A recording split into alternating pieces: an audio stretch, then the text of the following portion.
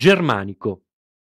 Caio Giulio Cesare Claudiano Germanico, nato nel 15 a.C., generale romano in seguito alla sua adozione nella gens Iulia da parte di Tiberio nel 4 d.C., mutò il nome originario di Claudio Nerone Germanico.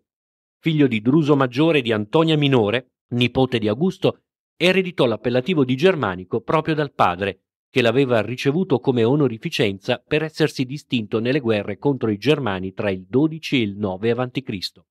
Cominciò prestissimo la sua breve ma prestigiosa carriera militare e politica e si distinse anche come uomo di lettere e come pater familias, esemplare. Già quest'ora nel 7 d.C. fu al fianco di Tiberio, ora suo padre adottivo, nel sedare la rivolta dei Pannoni e dei Dalmati.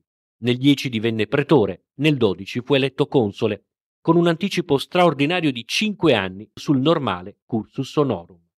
Molti furono in questi anni le spedizioni coronate da successo. I romani si spinsero fino al fiume Weser e arrivarono persino alle coste del mare del nord, nei territori dei Frisoni e dei Cauci.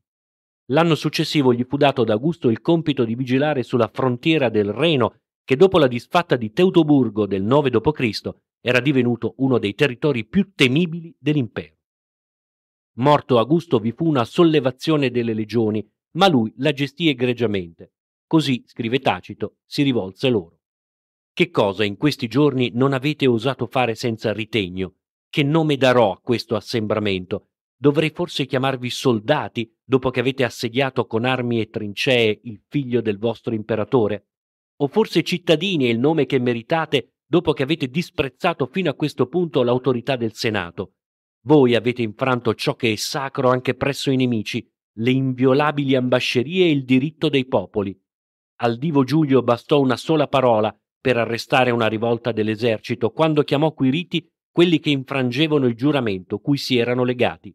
Il divo Augusto solo con la sua presenza e lo sguardo seppe atterrire le legioni reduci da Azio. Noi, che non siamo alla loro altezza e tuttavia discendiamo da quelli, se un soldato di Siria o di Spagna ci recasse oltraggio come avete fatto voi, lo riterremmo un fatto incredibile e indegno. E voi, soldati di quella prima legione che ha ricevuto le insegne da Tiberio, e voi della ventesima, che gli è stata compagna in innumerevoli battaglie e che ne ha ricevuto tante ricompense, questa bella gratitudine mostrate dunque al vostro generale? Ripristinato l'ordine tra i suoi, li diresse poi contro Arminio, capo dei Germani, nella battaglia di Staviso, le precedenti spedizioni avevano insegnato molto a Germanico. Dopo aver allestito una flotta per il suo esercito, il grande generale guidò le legioni lungo il canale che già suo padre Druso aveva fatto costruire fino al fiume Weser. Dopo alcune provocazioni da parte di Arminio, che era già appostato sull'altra sponda del fiume, Germanico decise di passare all'azione. Fatti costruire alcuni ponti durante la notte, pensava intanto a come sfruttare la maggiore agilità dei suoi soldati. Tacito ci racconta un particolare assai suggestivo. Il generale fu attratto da un bellissimo presagio. Otto aquile si dirigevano verso i boschi e vi penetravano sicure. Egli allora gridò ai soldati di proseguire, seguendo gli uccelli sacri a Roma, numi tutelari delle legioni. Nel corpo a corpo, viste anche le enormi dimensioni di scudi e lance dei barbari, i romani potevano infatti essere molto più rapidi, persino nel cuore della foresta, proprio là dove i germani tendevano ad attirarli. Il giorno dopo gli ausiliari galli e germani seguiti dagli arcieri avanzarono precedendo quattro legioni e Germanico alla testa di due corti pretorie e della cavalleria. Quattro altre legioni e altre truppe ausiliarie chiudevano lo schieramento. I barbari li aspettavano nella piana di Idistaviso, un luogo che essi consideravano ideale, soprattutto per la presenza di un'ampia foresta alle sue spalle. Fu Arminio a dare inizio allo scontro, i suoi cherusci attaccarono da un'altura urlando e precipitandosi contro i romani. Rispose la cavalleria di Germanico che li accerchiò, mentre la fanteria romana compiva la stessa manovra contro l'altra porzione di esercito barbarico rimasta immobile sulla piana. Scrive Tacito. La fanteria leggera già cedeva all'urto delle formazioni serrate dei Germani quando Cesare, accorso a cavallo presso la ventesima legione, a gran voce cominciò a dire che era quello il momento adatto per cancellare l'onta della rivolta e che quindi avanzassero gli uomini per convertire velocemente il disonore in gloria. Allora il coraggio dei soldati divampò e in un assalto compatto respinsero il nemico, ricacciandolo allo scoperto e facendone strage. La tenaglia romana fu efficacissima e stritolò in breve gran parte dei nemici, portando un enorme scompiglio tra le file di quelli. La furia dei romani e la loro sete di vendetta poterono finalmente scatenarsi. Un nugolo di frecce fu scoccato dagli arcieri, sommergendo e insanguinando i corpi sui quali piombavano. Arminio stesso, ferito, si coprì la faccia di sangue per mascherarla e fuggire non riconosciuto, ma migliaia dei suoi caddero sul campo e a notte i corpi dei barbari coprivano un'area di dieci miglia. Germanico stesso, per essere meglio riconosciuto, si era scoperto il capo e incitava i suoi a che insistessero col massacro. Non fate un solo prigioniero, diceva, perché soltanto con lo sterminio completo sarà possibile mettere fine alla guerra. Nei giorni successivi i barbari tentarono una riscossa e fu tale la loro rabbia e sete di vendetta che per poco non ebbero la meglio.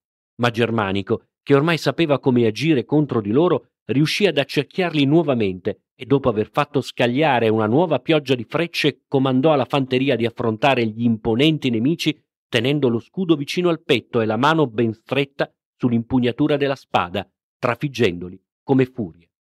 Nessun prigioniero doveva essere fatto, ma tutti massacrati perché solo il loro sterminio avrebbe posto fine alla guerra. In nome di Tiberio, che pure non si era mai mostrato d'accordo a questa spedizione, Germano aveva sanato una vecchia e atroce ferita e aveva almeno ristabilito l'onore di Roma. Dopo aver lodato i vincitori tutti riuniti, Germanico eresse un trofeo di armi, sopra cui pose come iscrizione Debellati i popoli tra Reno e Alba, l'esercito di Tiberio Cesare questa testimonianza ha consacrato a Marte, Giove e Augusto. Non aggiunse nulla su se stesso e lo fece sia per non suscitare invidie, sia perché convinto che la sola coscienza dell'impresa fosse più che sufficiente per appagarlo. Germanico recuperò anche due delle tre aquile, simbolo delle legioni disfatte nel 9 d.C. a Teutoburgo. Il piano che era stato di Augusto sotto Tiberio era stato però definitivamente messo da parte. Germanico, che come il precedente imperatore almeno fino a Teutoburgo mirava alla conquista dei territori fino all'Elba, nonostante avesse ottenuto innegabili successi, fu costretto a rinunciare all'impresa. Tiberio, nuovo imperatore, assisteva da Roma al crescere della popolarità di questo giovanissimo generale. Le stesse legioni di stanza sul Reno avevano inneggiato a Germanico come nuovo princeps quando Augusto era morto. Ma la lealtà di Germanico era sempre stata fuori discussione. In proposito, ci racconta Tacito. Allora, dopo aver esordito con parole di venerazione per la memoria di Augusto, passò a magnificare le vittorie e i trionfi di Tiberio, celebrando specialmente le splendide imprese che egli aveva compiuto in Germania alla testa di quelle stesse legioni. Quindi esaltò il benvolere dei popoli d'Italia e la fedeltà delle Gallie, precisando che in nessun luogo si erano verificati disordini o segni di ribellione. Questi discorsi furono accolti con il silenzio o con un modesto sussurro. Pertanto Tiberio lo richiamò a Roma per il trionfo dovuto ai successi sui Germani, ma poi lo inviò in missione diplomatica dove comunque Germanico seppe farsi valere.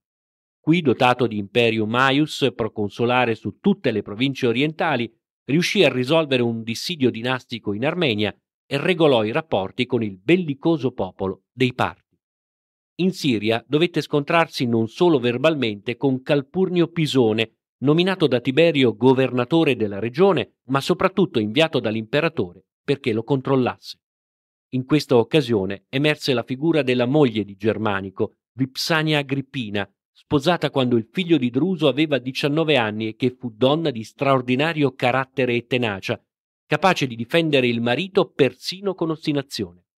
Agrippina, nipote di Augusto, diede nove figli, tra cui Caligola, e Agrippina minore, poi madre del futuro imperatore Nerone.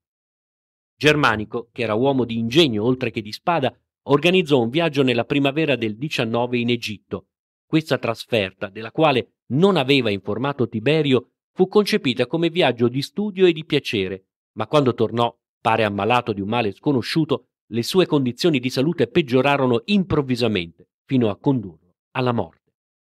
Venivano in questo modo deluse ancora una volta le aspettative della popolazione, riferisce Tacito, Grande era stato in quegli anni presso il popolo romano il ricordo di Druso, e si era ritenuto che se fosse andato al potere avrebbe restituito la libertà. Da qui proveniva il favore anche per Germanico, in cui si riponeva la stessa speranza. Il giovane infatti possedeva uno spirito liberale e modi estremamente cortesi, assai diversi dal modo di parlare e dal volto stesso di Tiberio, sempre altezzoso e impenetrabile. I sospetti di avvelenamento, visto anche il netto peggioramento dei rapporti con Pisone, dovuto al fatto che questi, in sua assenza, aveva annullato dei suoi personali provvedimenti, si stesero come una lunga ombra che lambì la stessa figura dell'imperatore. Si sa che Agrippina, la coraggiosa moglie di Germanico, ricevette da lui l'incarico di vendicarlo. Tiberio lasciò che in Senato fosse istruito un processo e nonostante nessuno fu capace di avvalorare con prove l'accusa di omicidio, Pisone, su cui gravavano ormai atroci sospetti, trovò la morte per sua stessa mano. Il rimpianto per la morte di Germanico a Roma fu immenso. Con lui l'impero perse un uomo nel fiore degli anni e uno straordinario capo, generoso e potente. Il suo valore di militare, ma anche lo spirito di umanità straordinaria che dimostrò, lo resero uno degli uomini più amati del suo tempo.